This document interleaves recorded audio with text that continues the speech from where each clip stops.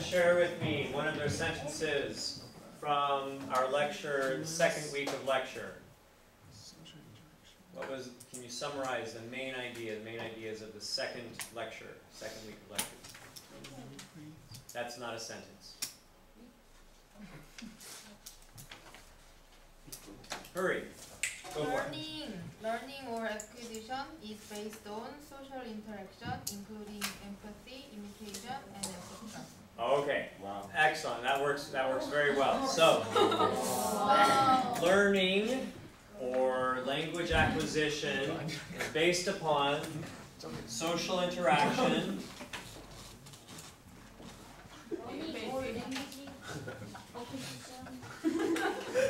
is based upon social, uh, can you finish that sentence for me again one more time, please? You said social interaction, what's after the social interaction? Ba- Based on social interaction, including empathy, imitation, mimicking, and etc. Okay, good, In- including, uh, empathy, what, Imitation, imitation, mimicking. mimicking, which is basically the same, etc. Okay, good, excellent. Okay, what about third week? Can someone, can someone share with me a sentence summarizing what we learned the third week? Third week is how, how do symbols, how do symbols gain meaning? How are we able to, what, what are the requirements? What are the requirements for a symbol to gain meaning? Think simple. No, not for the third. Third week. Third week. Come on. Stop clicking your pens and start thinking. Although actually the evidence shows that clicking your pens actually helps thinking. But I just drives me crazy. Come on, you guys, hurry. Other classes are faster. Let's go. Think about, right? Let's go. Here. You guys all remember we talked about apples, right? Okay. Give me a. What was the second week about? Just what was it about? It was about what? Symbols. But how can these. These are just lines. How can these symbols have any meaning? Okay, becomes connected or associated with what? Okay, body-based experience or schema, right? Okay, so our second week is essentially that our body, body-based experience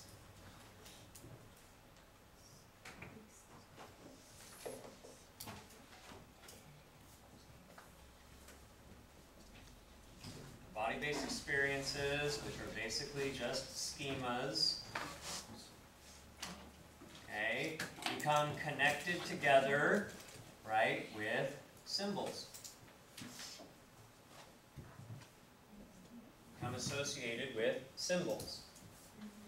Again, what kind, again, let's look here. These are just symbols, right? What kind of symbols are these? What kind of symbols? You can see the symbol, right? You can see the symbol. So I'm going to draw a picture of an eye here. Here's my eyeball. Okay, go. There's an eyeball. Okay, you can see them, this symbol. Also, I might say sakwa. What? Okay, you can hear the symbol. So, it's a phonetic, phonetic symbol, right? Here- There's an ugly, ugly ear. Here has many earrings. There we go. Emo, emo ear. All right. We also pronounce, produce the sound as well. I don't know if my camera can see this, so I'll pull it right here. Don't worry, it won't. It can't see any of your heads, so you guys don't need to be shy. Okay.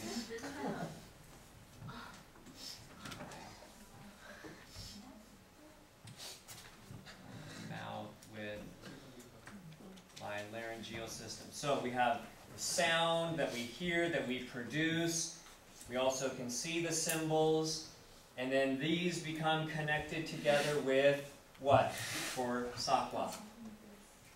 With the okay, the experience, which we also can hear an apple, right? Yeah. When you bite into it, it goes right. When it's a good crisp apple, you can also taste. So I'll make another tongue. This is my tongue. My big mouth. Small lips, but big mouth. Okay? You can taste it. You can also see an apple. We'll make another eyeball here. Okay?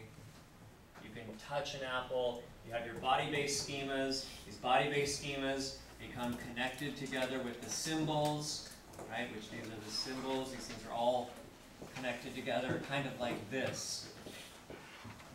Okay? Got it? Good. Alright, sweet. Now we are going to move to school. We talked a bit about the home environment. Now we're, we're going to talk a little bit more about the home environment. Move if you need to move so you can see things. So, all of you, all of you, when you started school, first grade elementary school, all of you spoke Korean. Yes. Excellent. All of the kids in your first grade class spoke Korean. All of them did. Now, all of you are at university now. Did all of the kids, all of the kids in your first grade class go to university? No. Probably not. Chances are not all of them went to university. Some of them maybe even quit high school. Okay? Now, one thing that, what is it? Why are some children behind other children when they start school? Any ideas why? Why are some children behind other children when they start school? lack of uh, lack of uh, education. Okay, maybe, I mean, I, I, for your generation, probably most of, none of you went to Hagwons when you, before elementary school. Mm-hmm. Kids these days, they go to Hagwons, it's crazy, it's stupid, it's a waste of money, complete waste of money. But your generation, you did not go to Hagwons before school. So, let's think about your generation. Why did some of the kids start lower than other kids?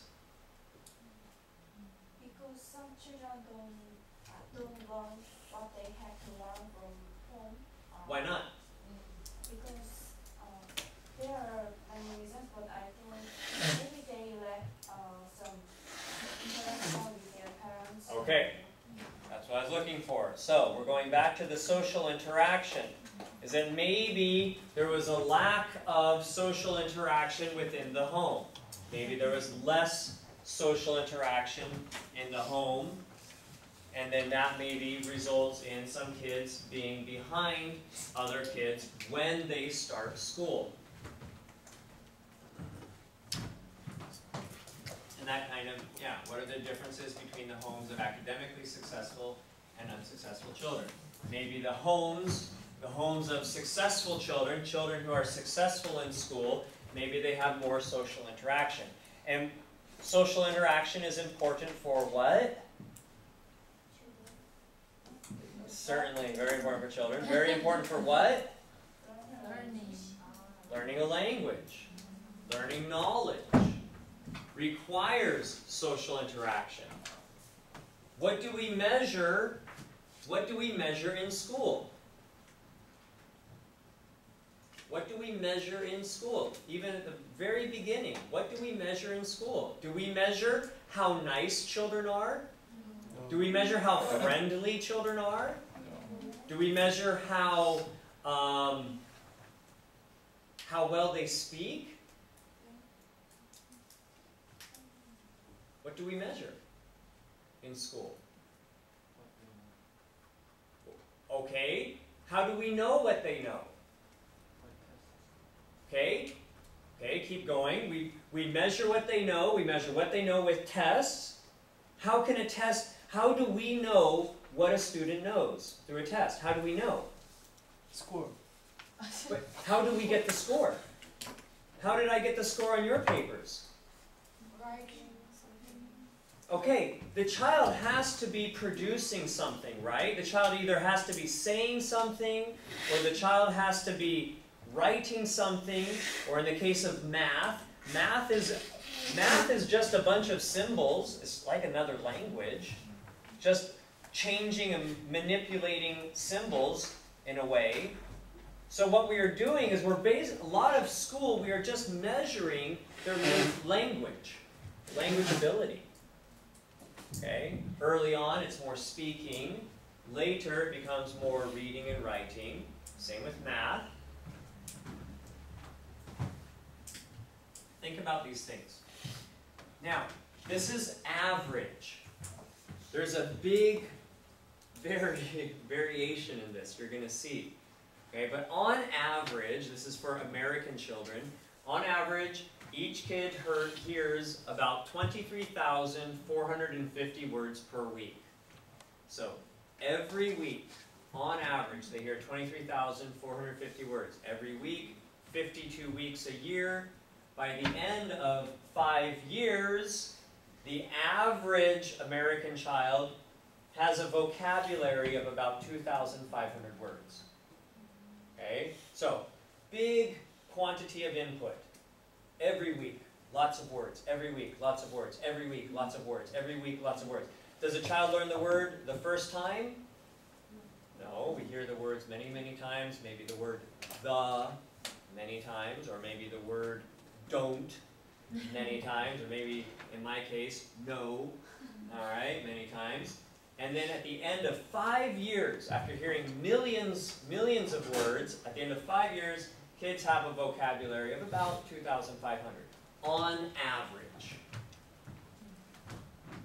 I hope you're writing. It'll help you get good, help me to see. We've talked about this research from a book that was um, published called Meaningful Differences.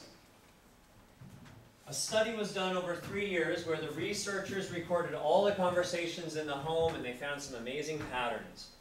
We've talked about this. They took microphones, they put microphones inside a home for three years. They did this for many homes. And with few exceptions, the more the parents talked to the children, the faster the children's vocabulary were growing. I don't like this grammar. I would have said grew, but anyway, back my opinion, back grammar. Uh, and the higher the children's IQ test scores uh, at the age of three and later. So what they found, they put the microphones in the homes, and they found that parents who talk more, parents who talk more, those children in that home had bigger vocabularies. You guys, don't write my words.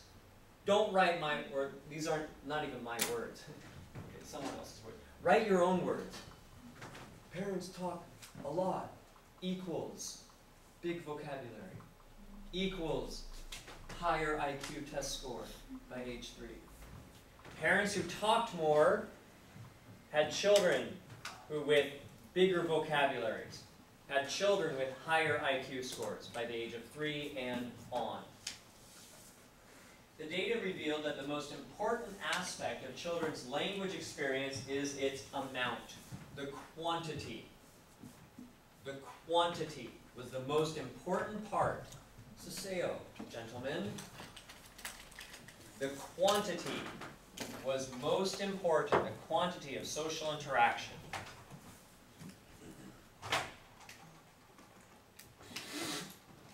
Large quantity was most important. Difference is the amount of cumulative experience. Cumulative means total. Total. Total over time. Total over time. Amount of cumulative experience children had were strongly linked to differences at age three in the children's rate of vocabulary growth, vocabulary use, general accomplishments, and linked to differences in school performance at age nine. amount of cumulative experience, here language interaction, big quantity of language interaction, again, vocabulary growth, vocabulary use, and school performance later. Not just their first year in elementary school, but also future performance in school by how much social interaction at home. When they were babies, or when they were infants, or when they were toddlers, or when they were preschoolers. Social interaction then relates very well to future performance at school.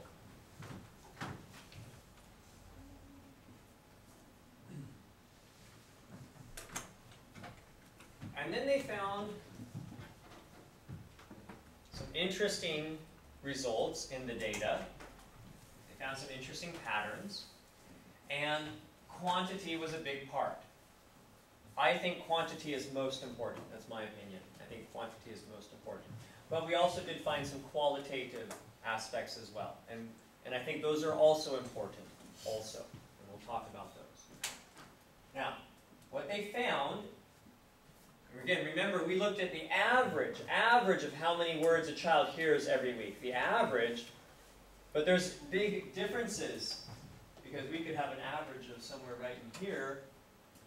But notice that children from professional families, professional families would be doctor, lawyer, teacher, architect, city government worker, Okay? That these children from professional families heard many more words. 45 million words on average for children from professional family. Try to make that higher. Whereas children in the poverty level families only heard 13 million on average. Big difference. And remember, we found that that amount of social interaction is very connected to school performance. Why? Why do you think such a big difference? Why do we think why do you think that professional family professional families the children hear many more words than poverty level? Any ideas why? I don't know why. We, they didn't talk about this in the research. We don't know why. Why do you think? Any idea why? No idea. You have no idea. Just like, ugh, 45, 13, ugh. No? No, re no idea? There's no correct answer. I don't know the answer. Anyone? Sure. Because professional parents use more various words. Maybe that that prob that might be it. That probably is the case. But but the variety you could you could have same quantity. You could have same quantity but have bigger variety, smaller variety but same quantity. But good thinking. Any other ideas? Okay, maybe parents ask more questions, maybe they encourage, okay, that might be it, maybe. I think parents who have the job, well, professional they have more time to talk with their children. Okay, maybe professional parents just have more time.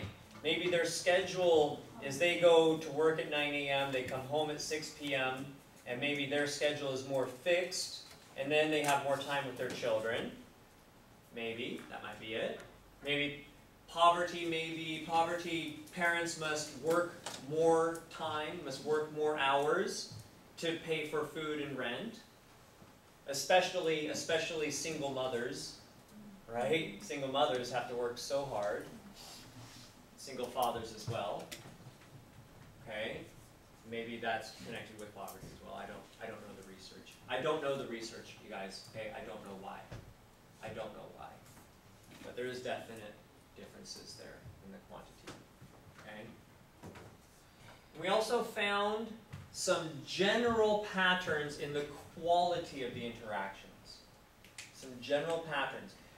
I'm not saying, we're not saying, oh, this always equals professional and this always equals poverty. We're We're not saying that, we're just saying on average, average patterns, we found that parents coming from professional families talked with children. It was more of a kind of conversational style. They did joint activities. Maybe the father builds paper airplane with the son or builds a model. Involved the kids in tasks. Maybe when the mother makes dinner or the father makes dinner, they ask the child to come uh, join them to help make dinner. So they do tasks together. And also the parents were very responsive. Go back to our last class, right?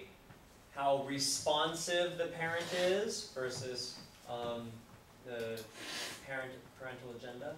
They answer questions, they're responsive.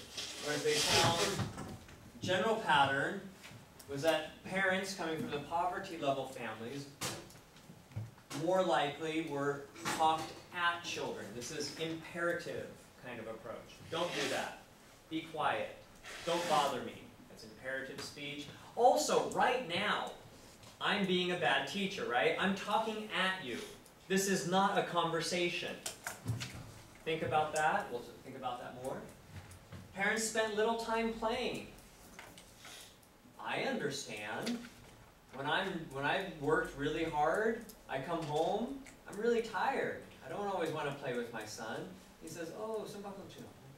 you go, you go hide. You go hide. I will count to 1,000. All right.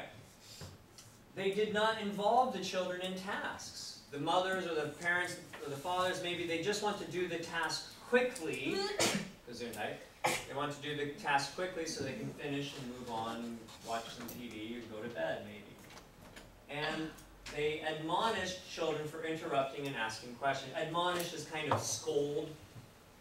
Don't bother me. Don't interrupt me. Oh, why do you ask so many dumb questions? Okay? And again, you guys, this, this is the home environment. But be thinking, be thinking about school. Be thinking about school. Okay, how does this maybe translate? How can we translate this into school? One of the things we know, we know that children, children in first grade, the children who are the top students in first grade, when they finish high school, they're the top students still. The kids who start at the bottom in first grade, they finish at the bottom, usually.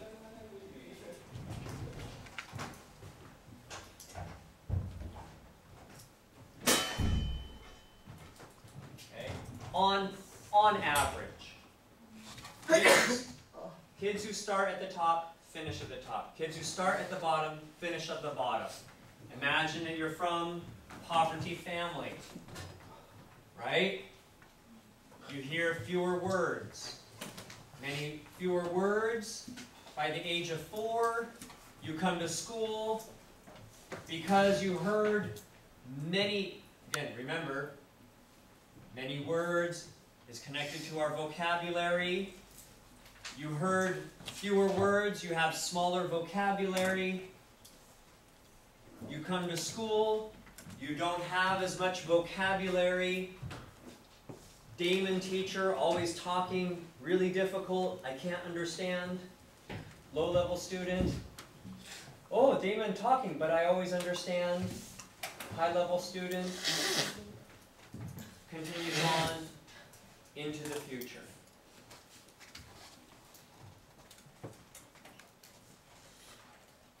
See the idea?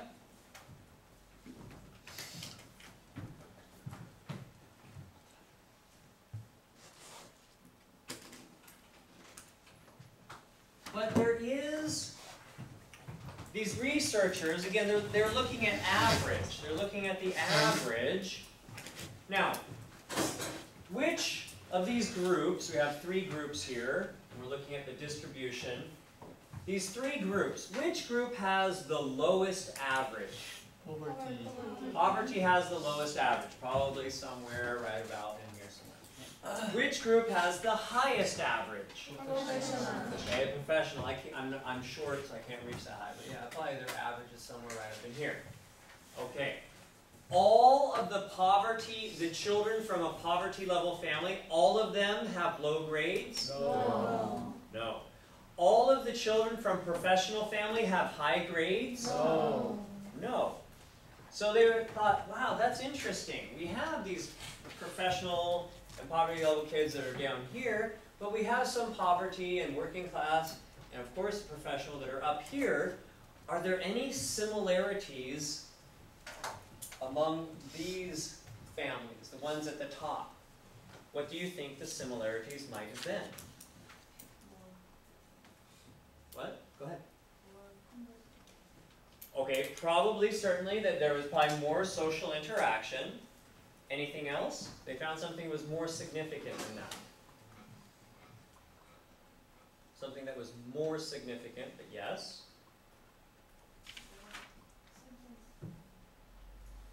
Good guess. Well, probably, it, it, probably very connected to more sentences and the social interaction.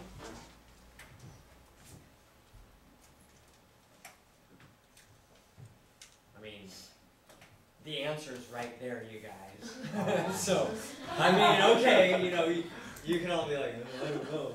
All right. Anyone? Any idea what it was? Time spent reading at home. Was one of the things they found was that that was the same or similar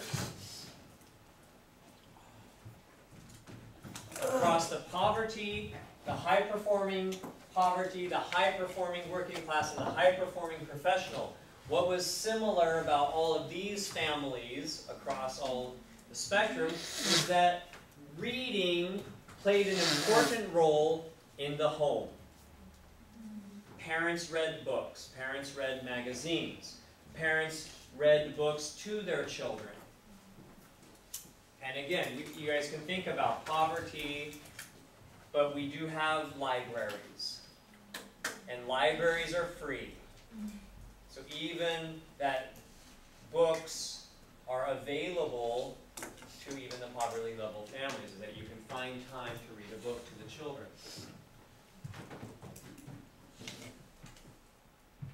And let's think about this. Why is, why is reading so important?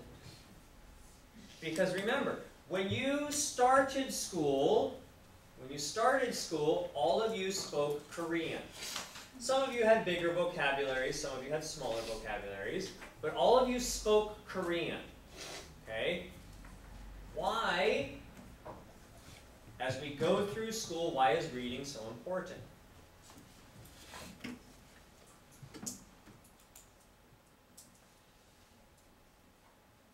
Think simple. Reading can see more word. Yeah, work. Well, see more. Yeah, I mean basically, yeah. I mean, look, the more the more you read, the more information you're able to develop. But not only that is that you know that we measure we measure reading in school. To take a test, you have to read to be able to be able to do the test right? And that reading, those reading skills are very connected to your writing skills. Reading and writing is more important in high school or more important in elementary school? High school. More important in high school. So as we progress through school, reading and writing becomes more and more and more important. The kids who have reading at home when they are very young, those kids enter school at a higher level.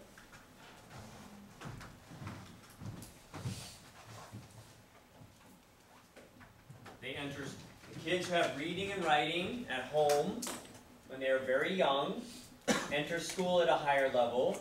Reading and writing becomes more and more and more and more and more important over the course of school. They finish school at a high level. Write your own words, you guys. Write what this means in your own words. Research by Gordon Wells has found that the amount of time parents spend reading to their preschool children is key for sustained academic success. That you want to succeed in school over the long period of time, and again, this is in America. Uh, Korea, I think, probably less so because Korea is such a um, test-oriented, follow my lead culture, but key to academic success. So I want you to take some time. I want you to think about what does this mean? Explain the researcher's findings in your own words. You can talk with your group members, talk about what I just talked about. You can make notes. And then what I want you to do, talk about it together, share your ideas. I want you to think a little bit about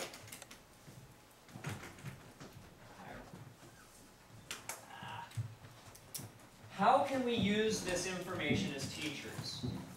Together, talk about what I just talked about in your own words. You can add to your notes. And then think about how can we use this information as teachers? Go ahead, begin.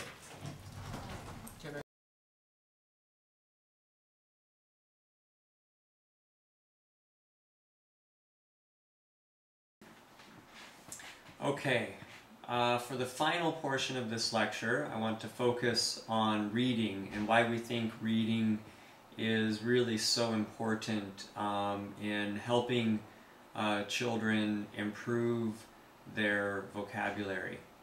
And I especially want to focus on stories. And what we're talking about here is not specifically just to English as a second language or English as a foreign language. We're also talking about Korean as well. And so for you, my students, um, you live in Korea.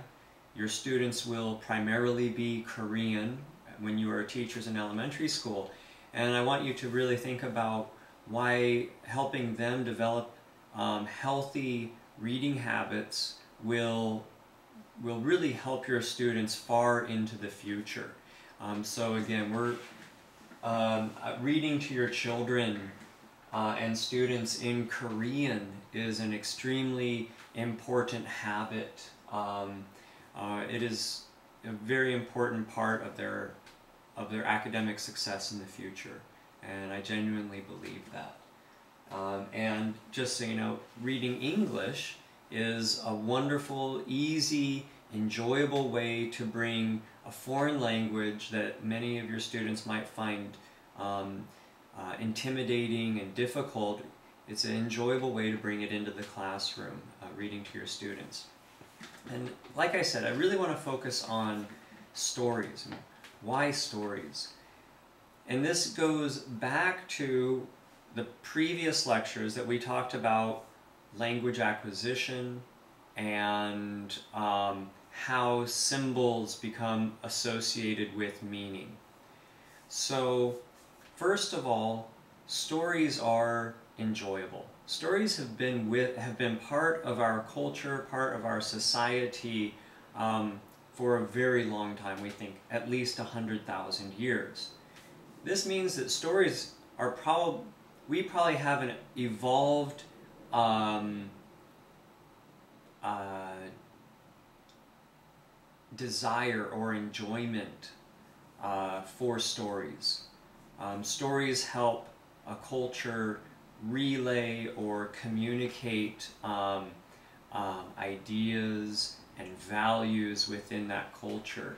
And probably those children who are receptive to the values and ideas passed along through stories are probably more likely to survive and be productive members of the society and of the culture. So I, I think that we that we have a that especially children have a natural um, um, inclination, desire to hear stories. Not only that, though, it, when we've been talking about how these symbols become associated with meaning, um, this the example I used, the examples I've used have been very concrete, physical examples, for example, like the apple. But what if we take something that is not so physical and concrete? Let's take, for example, the word journey. How is it that we are able to then be able to apply our um, body based experience uh, and grow those associations um, with the symbols? And I think that stories provide a very important context, and again, especially children's books, where there will be pictures that are then um, that kind of match very well with the language that's being used. So, how is it that a child then might be able to learn the word, let's say, for example, journey, um, which is very difficult to see a journey, but maybe over the course of the pages uh, in a storybook in which the character is on a journey and the book mentions journey a couple of times within the book, that provides an opportunity for a sensory experience of the child being able to, through the context of the story, seeing the pictures and then hearing the word journey multiple times, the opportunity to possibly learn language um, that is not particularly physical. So I really believe in stories, and, and we'll look a little bit more as to as to really why reading is really important um, to assisting children in their language development. So, um, first of all, uh, reading is really a lifelong process. So the, the sooner that we can get kids reading um, and enjoying the reading process, I think that's really important is that they enjoy it. But will really assist them far into the future. Reading is such an such an important part of our lives, um, just for the rest of our lives, um, particularly for our jobs and particularly for school and our education. Um, and when we help children become independent readers, uh, we also help these children become independent learners. So we want these children to be um, not just in learning within the classroom, we want them to be taking the initiative where they independently go forward in their life and and enjoy the learning process uh, for the rest of their life. So I, and so I do think that you know assisting children in, in enjoying reading um, helps create independent readers, independent writers, independent thinkers. And I, I like independent thinkers.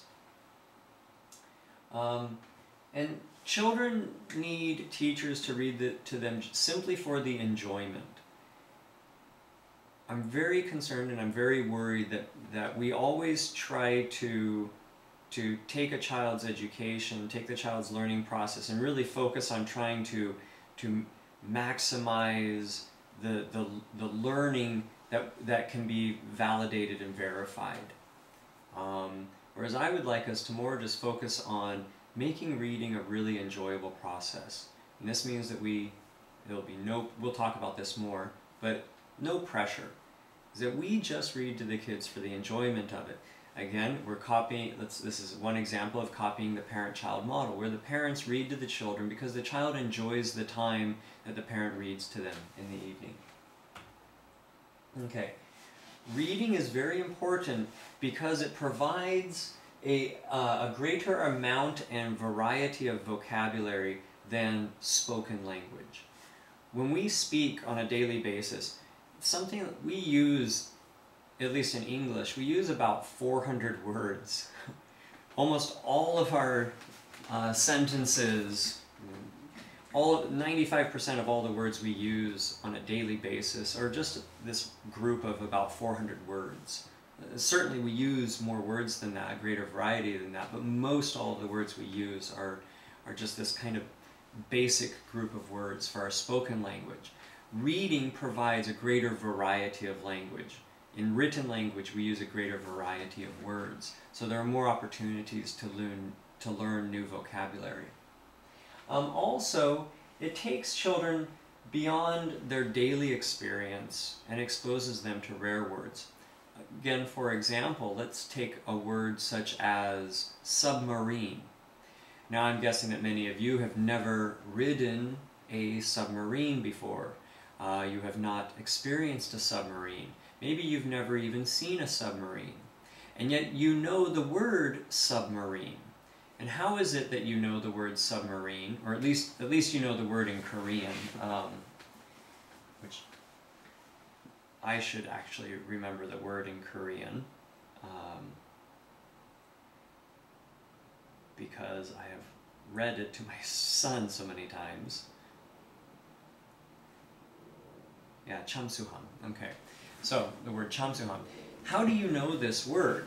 Well, probably for most of you, you know this word actually through books, through the process of reading and, and, and seeing images of what a submarine is and the submarine traveling beneath the ocean. And, and a lot of this is where you actually derive your understanding of the word. And so, again, stories and written language, the process of reading exposes us to a um, variety of contexts and a variety of, of um, content or concepts that we don't that we don't experience in our daily life.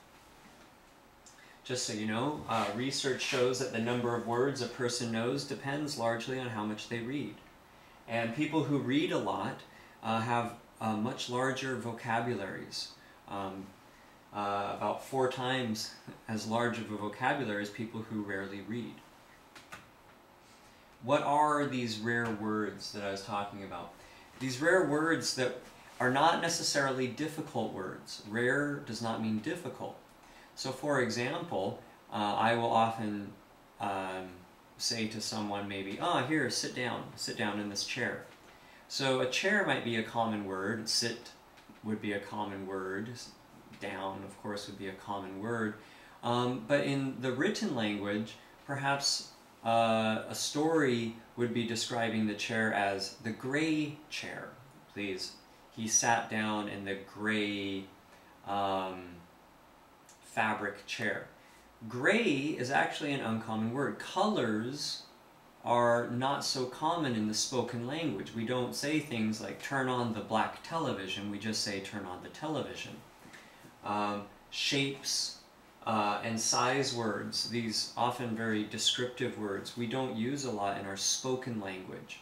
So to expose children to a, um, uh, a variety of rare words, it's often good to read to them because reading, uh, the, uh, the writers often are more descriptive with their language during the writing process. Children's books contain words and context and visual connections that allow for the acquisition of these words. So again, we have these rare words. We have, for example, a gray chair, and children's books will have an image of then a gray chair that we can then help build the associations, build the connections between the symbolic, the symbol, and the meaning. And in this case, it would be a visual, a visual meaning through a picture or an image. And so again, this is why uh, children's books are so important. Uh, and then I hope that you look at this list for a number of rare words met per thousand words. So this means that if I was speaking to someone and I we were speaking and I said a thousand words, generally, if I was having a, an adult conversation, of those 1,000 words, only 17.3 of the words would be rare words. Uh, if I was talking to a child, let's say a, a three-year-old child, only nine of those words out of a thousand, so 0.9%, would be um, would be rare words. However, if we were reading a children's book, you'll see that children's books contain almost 31 rare words for every thousand words. So again, we're looking at a, a um, possibly triple the rate of exposure to rare words just through a children's book. And again, the children's books are great because they also have the imagery that help facilitate uh, the association process and the build and the um, opportunity to build those associations and bring meaning to the symbolic language or to the symbolic words. Okay. Uh, good luck finishing up your notes, and I look forward. Well, I look forward to kind of look forward to reading them and grading them. All right. See you next week. Bye.